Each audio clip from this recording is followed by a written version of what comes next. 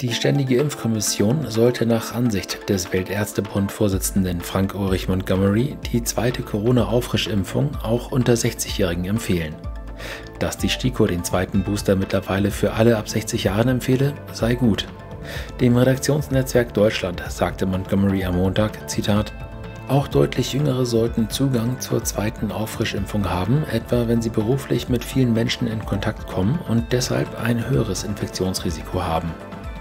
Da viele Ärzte und Krankenhäuser nur dann impfen, wenn eine positive Entscheidung der Impfkommission vorliege, fordert Montgomery von der STIKO eine klare Position. Zitat: Dass rechtlich die Möglichkeit besteht, sich impfen zu lassen, reicht viel nicht. Das sollte die STIKO in ihren Entscheidungen bedenken. Die STIKO empfiehlt seit vergangener Woche die zweite Auffrischimpfung auch für Menschen ab 60 Jahren. Bedingung für die Auffrischung ab diesem Alter sei im Regelfall, dass die erste Boosterimpfung oder die letzte Corona-Infektion mindestens sechs Monate zurückliege. Zuvor hatte das Gremium den zweiten Booster nur Menschen über 70 Jahren, Menschen in Pflegeeinrichtungen mit Immunschwäche oder erhöhtem Risiko für schwere Covid-19-Verläufe ab fünf Jahren empfohlen. Die gleiche Empfehlung gilt auch für Beschäftigte in medizinischen sowie Pflegeeinrichtungen.